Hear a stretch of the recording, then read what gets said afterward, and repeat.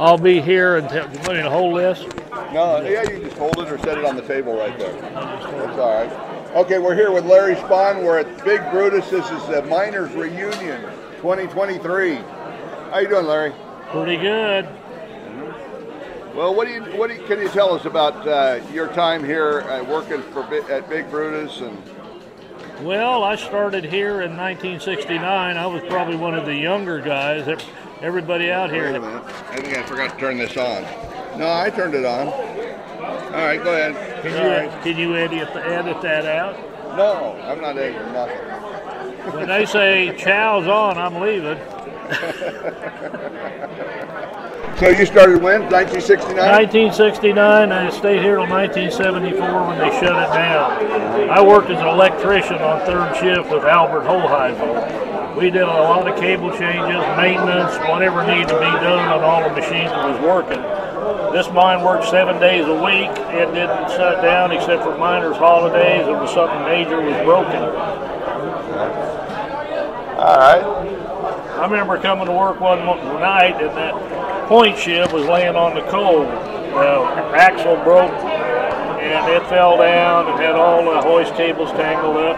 Oh my. And they had a Belger crane out there the next morning. Within a week, they were back in operation. What happened that it all fell apart? Well, they just whatever. It, the actual broke. There's a trunnion in between those shins. There's Oh, two of them up here. and it just broke and it fell out. Oh, okay. A lot of things happen out here, and it was a big way. A lot of a lot of people got right to work when they needed to. Now you told me a story. You said that uh, you got to haul one bucket of soil out of the pit with Big Brutus. Yes, I did. Larry Foster, he was a swing shift guy, we was getting towards the end. Uh, we got the word that the mine was shutting down, and he just said, "You want to take a bucket out to tell the grandkids?" And I said, "Yeah, I'll give it a shot." So he stood right beside me, and I've watched those operators run so much that I didn't have any problem with it. He said, "Hey, you've done this before," and I said, "No, I haven't." Does you want to take any more out? I said, "No." It's kind of like shooting at something. You hit it the first time, you lay the gun down and go. So I, you know, and I still think about it, but it had a lot of power. It's more impressive when it was swinging back and forth in and out of the pit.